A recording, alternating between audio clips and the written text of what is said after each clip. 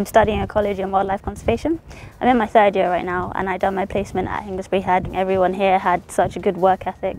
Um, everyone was so excited to come to work and to have that enthusiasm to start your job in the morning. It's just, it makes such a big difference. I studied environmental protection at Bournemouth University. I graduated in 2003 and I did two placements at Hengistbury Head, so it's kind of gone full circle. So over the last couple of years we've been getting an increasing amount of placements helping us here, ranging from geography students to ecology students and most recently uh, media and marketing students as well. It's, it's the enthusiasm that we look for and once you have that you know they're going to bring something. Instead of thinking about what we can bring for placements, we also tend to meet them and think what can they bring to us as well because there's a lot of placements that have got a lot of stuff to, to bring even though they're not fully qualified yet. Their experiences in life and um, throughout university may bring something new here that we've not thought of and that is really important that we keep bringing those new ideas in. And placement students um, maybe a bit surprisingly to me, sometimes they've got the, the you know the, the best ideas in the room of how to do things because they often look at things with a fresh set of eyes.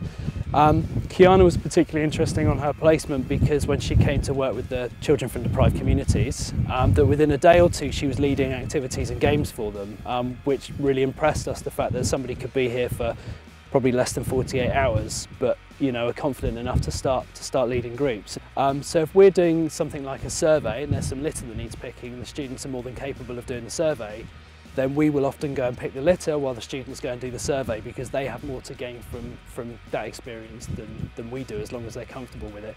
So we, we treat them very much as members of staff as much as they, as they want to and that's one of the reasons why we brand them in a t-shirt you know almost as soon as they arrive to give them that sense of belonging um, and responsibility as well. There are loads of experiences. Um, Bournemouth University, they have a vast array of opportunities for people, for students to get involved in. It prepared me um, in the capacity of figuring out what I wanted to do for my dissertation. I've learned so much being here in such a short space of time and I've met so many people who've shared their wisdom with me.